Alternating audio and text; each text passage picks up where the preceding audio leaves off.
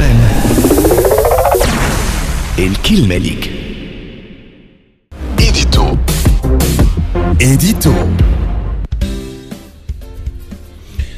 صباح النور صباح الخير وصباح الأمل للناس كل أخيرا تمت المصالحة مع مستخدمي الإدارة السامين والموظفين وأشباههم ممن كانوا وزراء وولاة ومعتمدين ورؤساء مديرين عامين. واستثني من القانون رجال الأعمال. ورغم ما حدث من ضجة في قاعة المجلس وملاسنات وهذا أمر يحدث في كل البرلمانات على كل حال ما باش نقفوا عنده برشا في العالم التي يصل فيها الأداء إلى استعمال العنف والكراسي فإن إقرار هذا القانون الأساسي فيه برشا دلالات آه، وهي محل خلاف بحسب المواقع السياسية والإيديولوجية لأصحابها وضرورات ميزان القوى كما نعرفه في السياسة وأيضا بحسب الزاوية اللي يتم منها النظر للمصالحة.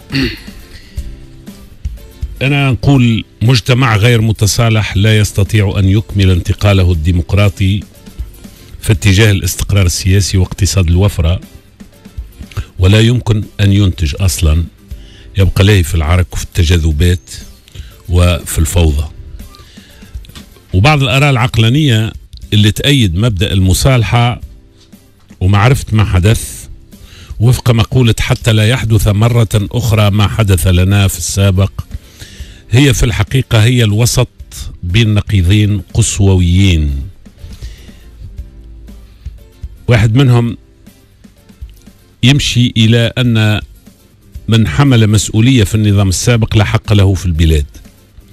ويجب استئصاله واستبعاده وهو رأي أقرب إلى ما حدث في العراق وفي ليبيا من اجتثاث يكاد آه، آه، آه، يصل إلى المجتمع بكامله وقواه الحية والفاعلة وقل وقد أنتج الخراب والدماء والدمار. وفي مطلق الأحوال فإن هذا التوجه بقي أقليا بدليل نتائج الانتخابات واتجاهات الرأي العام اللي تعكسها أدوات التواصل الاجتماعي واستطلاعات الرأي في الحد الأدنى.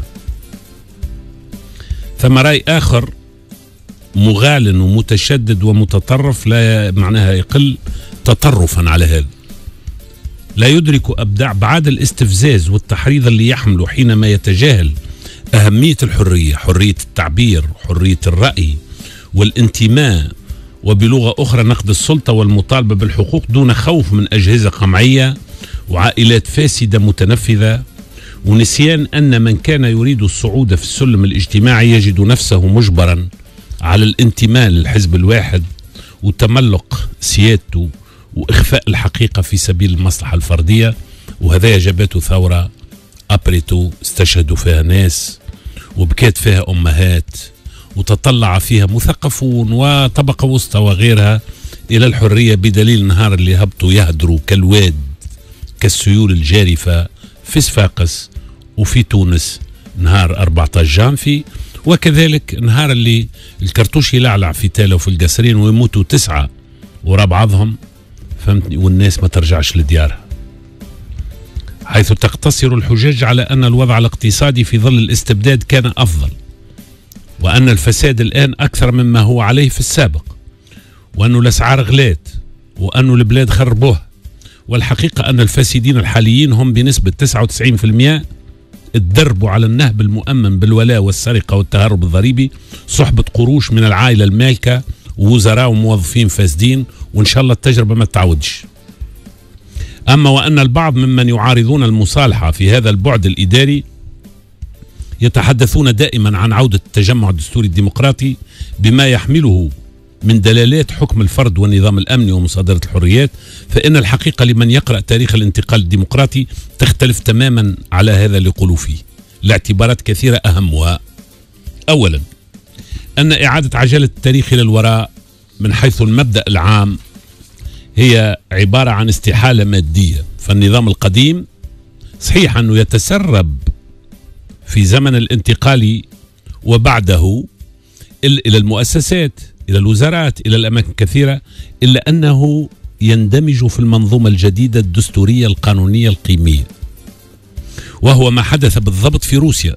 شوفوها للي يحب يقرأ تجارب الشعوب ويشوف ما يتكلمش على هواه. ودول أوروبا الشرقية كذلك. ودول أمريكا الجنوبية. وكذلك في اليونان والبرتغال وإسبانيا. قبل هذوما اللي كانوا محكومين بأنظمة فاشية معناها قدامها التجمع ونظام بن علي ما يتسمى حد شيء. اثنين إن تقدم الزمن يحيل اللوبيات والمجموعات المنتمية للنظام السابق إلى أفراد فاقدين للبعد التنظيمي الجامع الذي كان قائما على أدوات لم تعد موجودة وقد عوضتها مؤسسات جديدة دستور وقوانين جديدة وحراك آخر ومجتمع مدني يكاد يفوق من حيث العدد والقدرة على الحركة والإشعاع الأحزاب السياسية فالواقع أعطى انشطارات في تنظيم التجمع الدستوري الديمقراطي خابت جميع المساعي لإعادة تجميعها كما حدث مع الحزب الشيوعي السوفيتي وغيره من أحزاب أوروبا الشرقية. ثالثا وأخيرا فإن الكثير من النخب التي كانت في النظام السابق تفضل العيش في ظل الحرية ولو بدون امتيازات خاصة على مسؤولية محملة بالخوف وعبادة الشخص والعيش على مستوى الماكينة البيولوجية.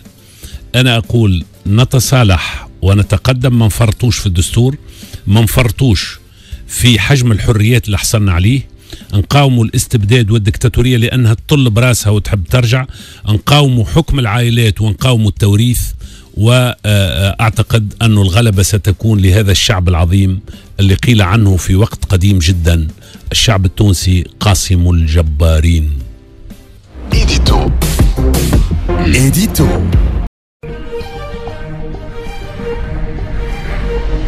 Cap FM الكلمة ليك